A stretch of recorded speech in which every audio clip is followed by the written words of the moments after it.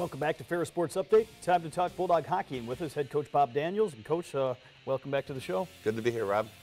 Four-game home stretch uh, here over the last two weeks for the Bulldogs, and uh, a good uh, accomplishment here for the Ferris State hockey team. You get six out of eight points, uh, win three of the four games in the home stretch. Yeah, you know what? Uh, it, it, was a good accomplishment, and, and, happy to see us scoring goals, and and and, uh, and really, I think playing better. Would have liked to have gone. Um, four for four. And the interesting thing is, on our loss on Friday night, that actually was one of our better games. We just really ran into a hot goaltender from uh, Huntsville, and you know we just we weren't able to. Uh, to, to find a way to solve him on Friday night, but real happy though with the way we're trending and the way the team's moving right now.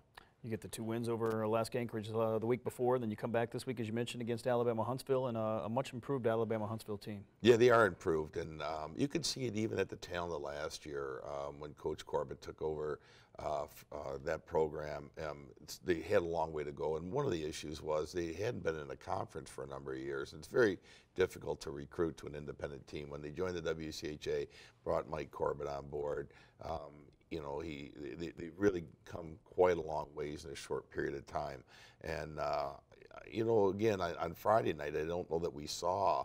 Uh, they, they, actually they, they didn't really play that well. Truthfully, I mean, we really outplayed them. Um, it was their goaltender, but it was Saturday night when we won that I thought they actually uh, their team played that much better. But they're going to win a lot of games yet this year, and they're certainly trending in the right direction. As we go to the highlights of uh, the first game on Friday night, uh, Alabama Huntsville, uh, both nights uh, really with a quick start, a quick goal early in the game. Yeah, I think I thought both nights they did. Uh, they jumped out, uh, and, and, this night here I was nervous after the first four minutes, but after two periods I think we'd only given them eight shots on net. We were up in the 30s, so you know it wasn't as though you know outside of being back on our heels a little to start the game, it wasn't like we were we were that much off, and. Um, you know, it was a tough game, I thought, for C.J. Motte to play in that he didn't see very many shots. And the ones he did, like pretty much every time they had a scoring chance, it was a really good one uh, and, and uh, was not much that C.J. could have done. Bulldogs give up the first goal, but uh, you come back, uh, you get the, the second goal, and uh, it's, it's, tied up after two periods of play. Yeah, it is. It's tied up, and, and I felt really comfortable, as I said, going into the third, and that um, we really were controlling play here. Um, you know, um, Babinski, uh, Kenny Babinski hadn't practiced all week. He was nursing a wrist injury, and I think that had an effect on him. And you, you saw there he had a hard time clearing the puck, something that normally wouldn't even be a, uh, an issue. Uh, here's another case where we're on the penalty kill, and uh, once again we had a, a, difficult time. We should have had that puck cleared out of our zone. Uh, and here you can't really fault CJ. That puck was redirected right in front of him. They take a three to one lead, but uh, your team battles back, and you get the goal to pull within one, and uh, certainly had some chances uh, to tie it up at the end. Yeah, we did, and uh, you'll see here in the highlight that we'll, we'll, score here on the power play, and that's one of the bright spots lately. Uh, I think we've scored uh, five power play goals in the last four games, so now we're starting to see the power play come around, and, and that's going to be really beneficial as we continue to move on uh, throughout the year.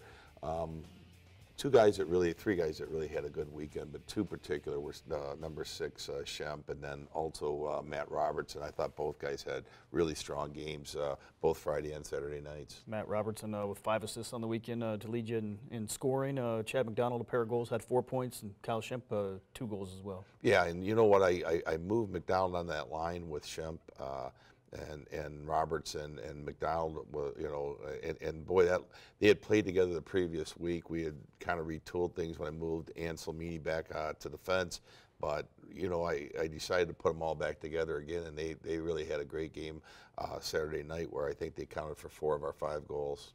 As we go to Saturday night's highlights, you mentioned five goals. Uh, the offense uh, comes alive again, and uh, you get a five to two victory uh, in in the Saturday game. Yeah, and you know, five two. You look at it, you think, wow, we must have really controlled play, but we didn't. I thought this was a much more even game.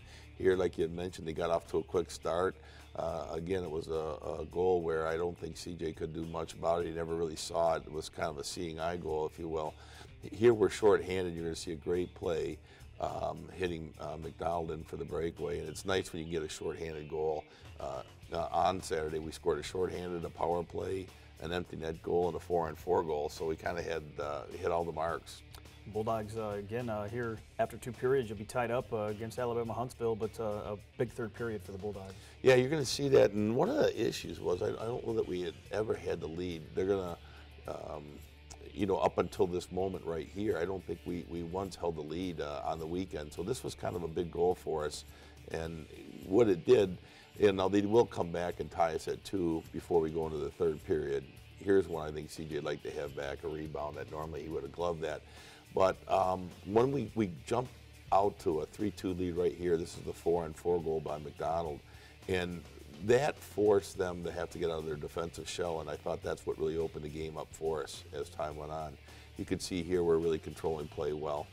Again, uh, here this weekend, uh, Bulldogs had a big crowd, as you can see in the student section. A nice fan support uh, here, uh, especially in the Saturday game. Yeah, it was. Um, you know, we've enjoyed a, a great home ice advantage uh, for the past few years here, and it's really because of our student section. This will be a power play goal here by Mayhew. It's kind of interesting. I, uh, Mayhew doesn't get it. I guess it hits the crossbar, kicks out. Everyone thinks it went in, and then I give uh, I, I, give our guys credit for sticking with it and bearing it. Jared Van Wormer uh, gets credit for the goal, and then uh, you'll get the empty net goal uh, coming up here shortly. As Kenny Babinski will uh, get the final goal tonight. Well, the weekend before, uh, Kenny Babinski had an opportunity to score an empty net goal and turned and, and gave it to Buzzio to score. And then here, Matt Robertson probably could have scored that in the empty net, and he gave that over to Kenny Babinski. So I think that's a good sign when guys are willing to share. I mean, when you're going in on a two-on-one with the net empty, pretty sure either guy could score. So. Uh, I have told the guys, well, let's make sure that number one thing we get those goals because sometimes there's plenty of time left. We don't want to give the other team another chance of tying the game. Bulldogs get the win on Saturday night to wrap up the weekend, and uh, now you come back Thanksgiving weekend and uh, a big trip as you, you travel to Madison, Wisconsin to take on the Wisconsin Badgers. Yeah, it's been a few years since we've played there. Um, Eh, I don't know, there's a couple, maybe five, six years ago, we, we went there twice in a row and won their tournament. And we hadn't been back for a while, and, and it'll be good to go back. And, and we always enjoy playing against the Big Ten teams. It'll be a, a, a nice size arena, know, uh, 11,000 people or so. So that gets you excited. And anytime you get an opportunity to play the Big Ten schools, we, we want to take advantage of that.